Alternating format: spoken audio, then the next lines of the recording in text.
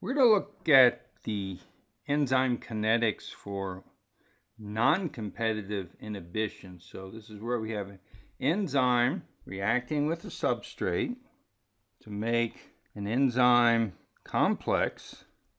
And then this enzyme complex can react to recreate the enzyme and form a product. And we're going to assume this step is irreversible or we're the other way of looking at it is we're assuming that we're at low concentrations of our product in order to derive our rate expression. And then what we're going to do is look at the case. So non-competitive inhibition has also been referred to as mixed inhibition. The idea here is that we have an inhibitor present that could also react with the enzyme to make a complex. And this complex now is inactive, meaning it can't react further to product. can, of course, dissociate back the enzyme plus the inhibitor. So an additional step is that the inhibitor could react with the complex. So instead of just reacting with the enzyme, it's also possible to form another complex which has both the enzyme and the complex. And then the final step is that we can form the enzyme substrate inhibitor complex by having the enzyme inhibitor react with the substrate to form the same complex. And so we're going to use the idea of rate determining step and we're going to say this formation of products. So the rate that product forms is the rate constant for that second step times the concentration of this enzyme substrate complex. The other steps are all in equilibrium.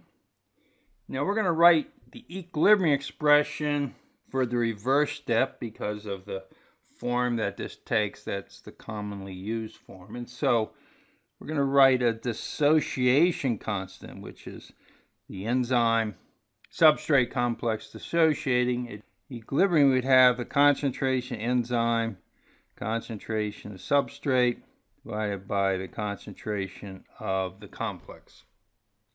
Now what we're going to assume is that for the substrate in this step here, reacting with the enzyme inhibitor complex, it has the same dissociation constant as the substrate reacting with just the enzyme. In other words, the binding of the inhibitor doesn't affect the equilibrium for the binding of the substrate. So what that means is then we're going to have the same dissociation constant, and I'll write down the expression. And then we're going to have another dissociation constant for the inhibitor reacting with the enzyme. And again, it's the same form, concentration enzyme, concentration inhibitor. And then finally, we're going to assume the same dissociation constant for this step. Again, the idea that the inhibitor reacting with the enzyme or with the enzyme substrate complex has the same dissociation constant. The fact that the substrate is bound to enzyme does not affect the equilibrium for the inhibitor to bind. So I'll write this down. So the final piece we need to obtain the rate expression is that the total enzyme concentration does not change. In other words, enzyme's a catalyst, if you like. And so it's either the free enzyme or it forms a complex with the substrate or it forms a complex with the inhibitor or it forms a complex with both of them. Add all this up, we should have the same concentration of total enzyme as a function of time. So what we're going to do now is substitute into this equation using these equilibrium expressions that we just wrote down. So let me pause and do that substitution. Now, our goal is to obtain expression for the concentrations enzyme complex, we can substitute here. So we can get a rate expression in terms of the measurable variables, namely the substrate concentration and the inhibitor concentration.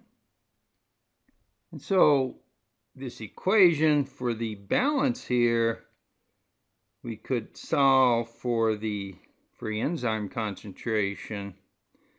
I could substitute back into this equation and get the enzyme substrate concentration. I could then substitute here. However, first I have to substitute here. I'm going to use this equation. So then I can take and solve this equation for the free enzyme concentration. Okay, so I've made this substitution. These other three terms are the same, so this means I can now write the total enzyme concentration. I can factor out just the enzyme alone, its concentration. Let me do that. Here I factored out, and so I can now rearrange this to solve for this enzyme concentration. So now I'm almost finished. I'm going to go back over here and let's divide so don't overlap the equations. The rate that I'm making product, the rate constant for that rate determining step, and the concentration of the enzyme substrate complex I can get from here.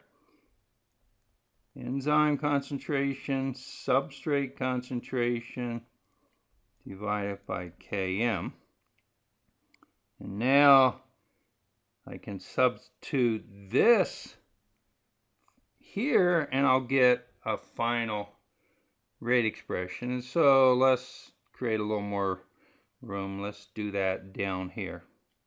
So the rate the rate constant, E sub T, substrate concentration, Km, and now this term in parentheses. Okay, so we're essentially finished, but let's put it in a form that's a little more commonly used. And so what we're going to do is take this term, we're going to call that Vmax. This is the standard notation that you will see. So the rate that we're making product is going to be Vmax, the substrate concentration. Now, for denominator, I can rearrange this. I can put together terms if I first multiply through by Km.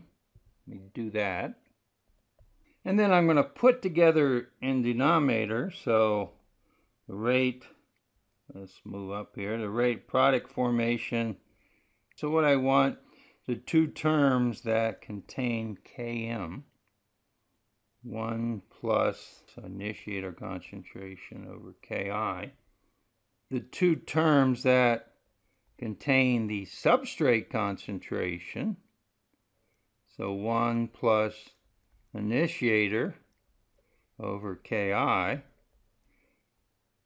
And so we can see that, well, this term and this term are the same, so we could factor those out, and we end up then with our final expression. Let me stop and write down this. So now I have a rate expression for enzyme kinetics with non-competitive inhibition that depends on the inhibitor and the substrate concentration. We can compare that to the case where there's no inhibition. So we can see the similarity in the form and we've added this additional term in the denominator which says of course the rate we're making product is going to be slower when we have inhibition.